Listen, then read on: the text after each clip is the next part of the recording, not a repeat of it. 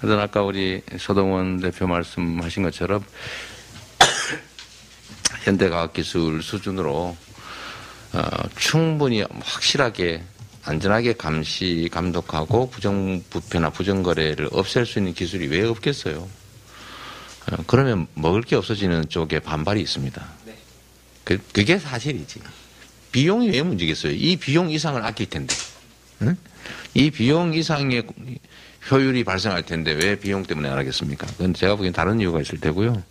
이 불투명 사회를 투명한 사회로 바꾸는 것도 진짜 우리 현, 우리 시대에 우리에게 주어진 중요한 과제입니다. 특히 젊은 세대들이 보면 아마 이, 이 기성세대들의 이 시스템을 들여다보면 아마 고개가 절레절레 흔들어질 거예요. 그 불합리함과 그 불투명성과 그 불공정성이라고 하는 게 납득이 안 되는 거죠. 그래서 그 투명한 합리적인 공정한 세상으로 가는 길에 저는 이것도 하나 중요한 부분이라고 생각해요. 그러니까 우리가 이 문제에 대해서도 어 우리 업계에서도 좀 관심 가져주시고요. 아우 억울하다 뭐 저따위로 하느냐 뭐 이런 심정 충분히 이해하는데 진짜 대안을 내자. 에, 그래서 이렇게 이렇게 하자라고 제안해주고 우리가 책임진다 이런 생각으로 하시면 저는 뭐 우리 유동수도 또, 뭐 위원장님도 계시고 김병호 의원도 계시고 뭐 재민 재인 의원도 계시고 국회의원들이 법을 만들잖아요. 이 나라의 규칙을 만드는 사람들인데 우리 민주당은 그럴 의지가 있어요. 근데 문제는 솔직하게 잘 몰라. 예? 그러니까 그, 그 부분을 여러분들이 채워주고 여러분들이 요구하고 끌고 가야죠. 언제까지나 끌려가실 거예요. 예, 저는 그래서 저 행정을 할 때도 어, 예를 들면 우리는 서비스를 공급을 하는데 예, 자꾸 이걸 어떻게 공급할지 우리가 고민해봐야 아무 소용이 없다. 그래봤자 옛날 거 다시 반복한다. 그러니까 수요자 측의 의견을 들어서 수요자한테 만들어 달라고 해라.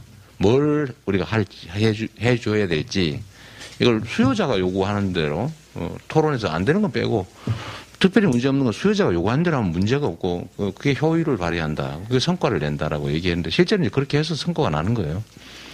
저는 앞으로 우리 국회 또 민주당도 그렇지만 정부도 아니 원하는 사람들을 위해서 서비스하는 게 공직자인데 공직자가 왜 지가 주는 것처럼 지거 주는 것처럼 그러냐 타인의 것을 대신하는 것인데 그러면 그 타인은 누구냐 주인은 국민이고 민원인이고 업계 관계자잖아요. 그 여러분들 요구하는 걸 잘 들어주는 게 정부의 역할이다. 그렇게 진짜 생각합니다. 그러니까 여러분들이 좀 구체적인 안을 할 수 있는 일을 정해서 좀 주세요. 여러분은 필요한 걸 알잖아요. 문제도 알지 않습니까? 그리고 자기 개인 이익이 반영될 가능성이 없지 않은데 그거는 여러 사람이 모여서 얘기하면 다 걸러져요. 그래서 그건 집단을 만들고 협업 체제를 만들고 요구 사항을 정리하고 실행 가능한 안을 내고 그때 안 하면 그때 비난하시고 그 노력은 좀 여러분들이 좀 해주면 좋겠어요. 이 분야뿐만 아니라 모든 영역에서 특히 정치권이 잘 모르는 얘기 있잖아요. 이런 거 이게 진짜 몰라요. 저도 공부를 다 해, 뭐 나름대로 열심히 하는데 다 모르겠더라고. 결국 여러분들한테 의지, 의지해야지 누가 하겠습니까? 어쨌든 뭐, 어, 좀 시간상으로 또 오늘은 이렇게 정리를 하고, 어, 여러분들 제가 믿겠습니다. 믿고, 어, 방법을 알려주세요. 할 의지는 있다. 예, 말씀드리고 정리하도록 하겠습니다. 고맙습니다.